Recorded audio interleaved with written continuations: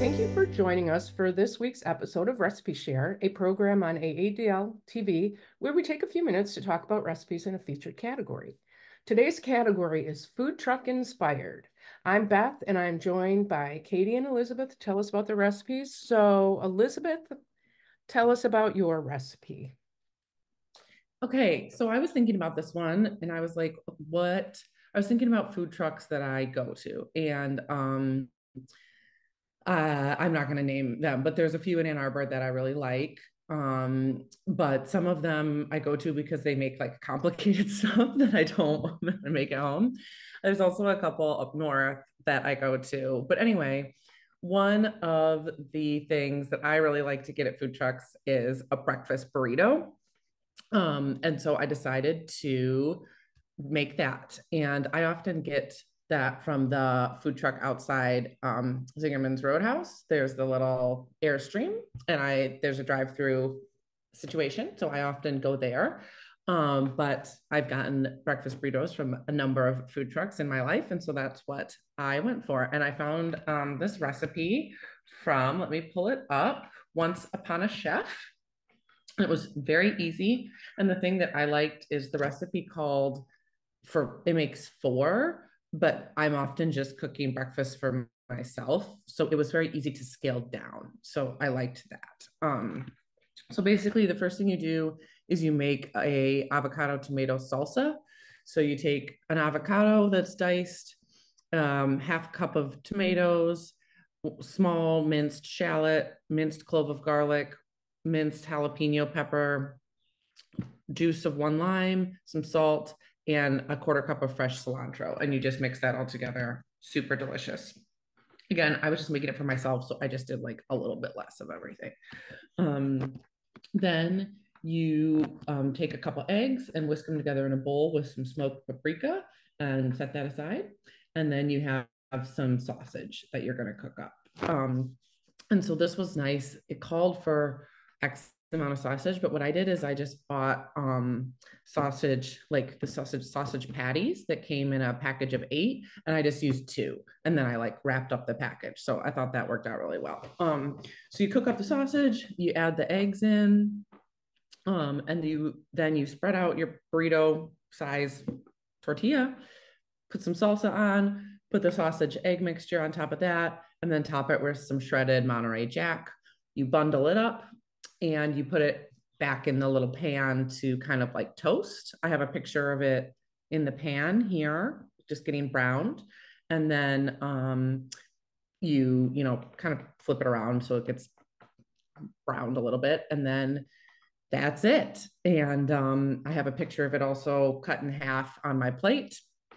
And it was very delicious. Um, of course, I always made the mistake that I always make, which is overstuffing it. So I had a little bit of trouble like getting it like packed together, but um, it was really, really good. And the salsa was so fresh and such a nice, like kind of brightened it up because I think otherwise it would have been a little heavy. It was very filling. Um, definitely like a good hearty breakfast or, or lunch. Um, I actually like ate half of it and then wrapped it up and then ate the other half the next day just because it was pretty filling. Um, and it was really great. And it would totally be something you could make and then like put in foil and like, you know, take to work or put put in the fridge to eat the next day or whatever. And um, I really liked it, and I'm definitely going to keep this in mind because it was so easy and uh, and good. Sounds great. It sounds super versatile. I love your tips about scaling it down for one person, especially with the sausage. That sounds a lot easier than like taking a tube and trying to navigate how much you need. So that's awesome. It sounds so good. I very rarely make myself a breakfast burrito, but when I do, I never regret it.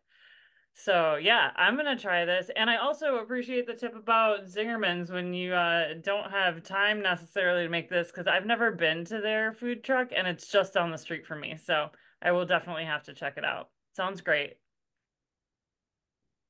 Yeah, I I that's not something I make either. Um, but it sounds really good. And yeah, I was just I'm tasked with bringing uh something for breakfast with a group of friends. So I but I don't know, that seems a little labor intensive. But anyway, sounds good. yeah, it was good. And um, yeah, you know, it, it'd be fun to serve, if, especially if you had like a guest over or something like that, because it's it was good. So, um, Katie, tell us about your food truck inspiration. All right. So the recipe that I am sharing today is for chicken pakora with cucumber raita and cilantro mint chutney. So pakora is a traditional Indian street food. It's a fritter that's usually, I think, and Google thinks so too, made with veggies. So I've encountered a lot of veggie pakora in my time at food trucks. Um, usually it's potatoes and onion or potatoes or onion. That's like the most common that I've seen. Uh, but I had never seen chicken pakora or a recipe for chicken pakora. So when I saw this, I was like, sure, let's try that. Like that sounds interesting. So um so this one has two sauces with it. You make you can make both of these a day or two ahead of time, which is what I did that was really nice to be able to just like make the sauces ahead of time and then not have to worry about that when I was making the chicken. So the first sauce is a cucumber raita, very simple cucumber yogurt sauce. You just grate your cucumber, strain the get the water out of it, mix it with yogurt, salt, mint leaves, some ground cumin, and then you top it with paprika. It's tasty, fresh, and good. And then the second sauce is one that I hadn't made before, and that's a cilantro mint chutney. So you take uh, two cups of cilantro leaves and stems, which I thought was really neat that you use the stems too, because a lot of recipes that I um, have made don't use the stems. And then a cup of mint leaves, some garlic cloves, a couple jalapeno peppers, uh, some lemon juice, salt, a little bit of sugar, ground cumin, and some water to um to thin it out if you need to. And you just put everything in the food processor, and that's your that's your chutney. So that was um really easy and nice to make.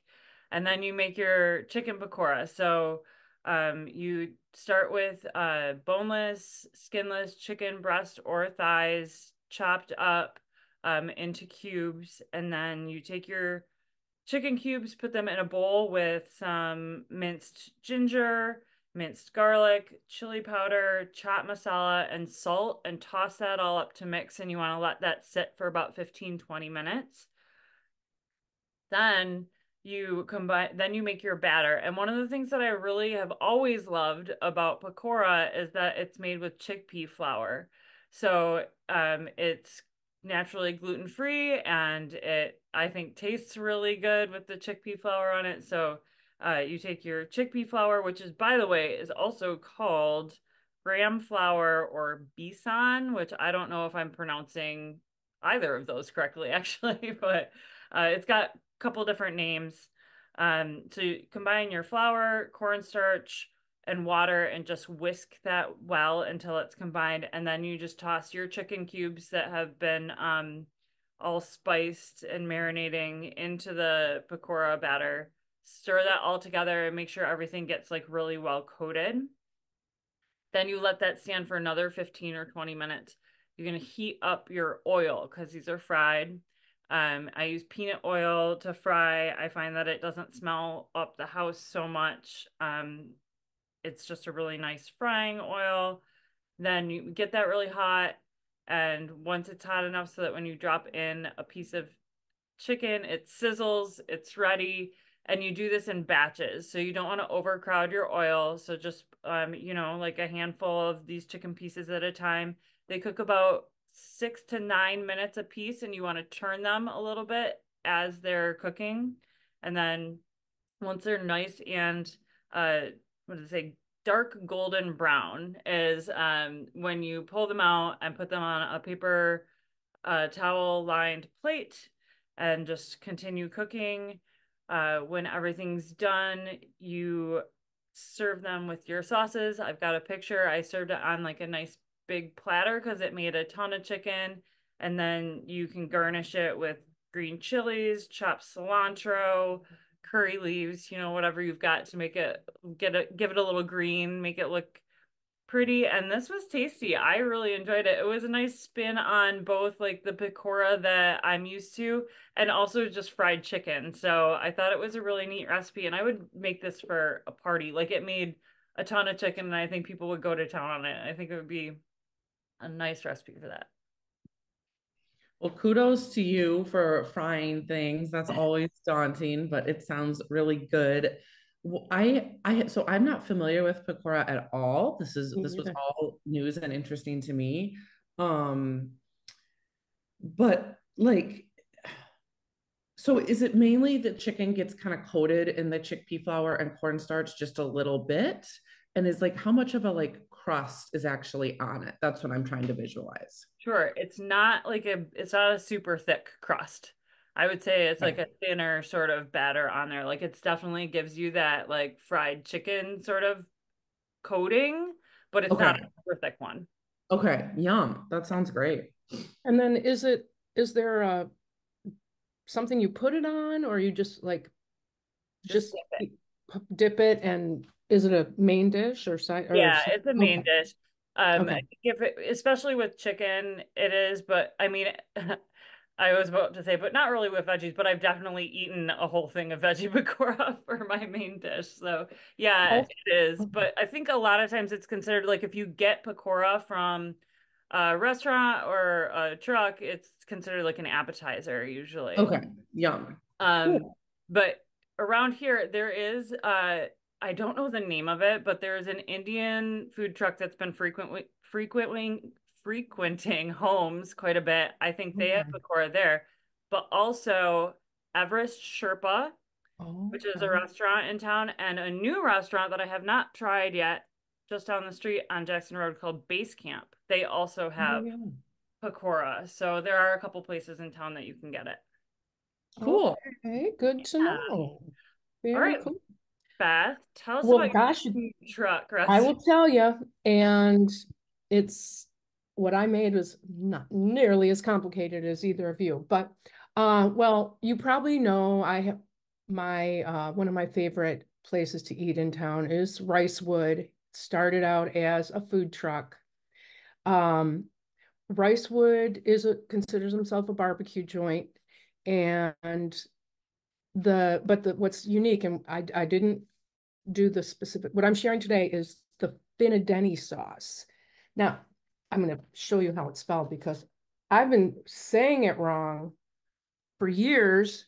Uh, but I talked to Frank Fejeran, who's the chef and owner of Ricewood, who they're family friends that go, we go back a long ways. And um, so he told me how to pronounce it and also that it's strictly for rice. It's um whereas in our house we thought we were making finadine sauce and we always would put cucumbers in it because that's how we thought it came, but nope, it's not cucumber. So what it is is just doctored up soy sauce. It's a and I found the recipe on food.com, but if you just look up finad, finadine, finadeni, um, there's a few other um, uh, sites that have it. So it it hails from Guam, and it's kind of cool that it, this is the beginning, or we're in May, so it's Asian American and Pacific Islander Heritage Month. Uh, so and Frank has some roots in Guam, and when you read articles about the Finadeni, it's like anyone that's been stationed in Guam, or certainly people that are from Guam, very familiar. Everyone has Finadeni on their table. Everyone puts their own spin on it, but um, the the key things are soy sauce, which I used half a cup of soy sauce, quarter cup. Now they say vinegar or lemon juice, but lots of folks chimed in about just lemon juice. And knowing me, I'm a lemon person, so quarter uh, half a cup of soy sauce, quarter cup of lemon juice, two green onions, and uh, three to five minced hot peppers. Uh, on Guam and in the Pacific, that area, uh, they use boonie peppers. Um, we don't have them here. Uh, I used a couple of jalapenos.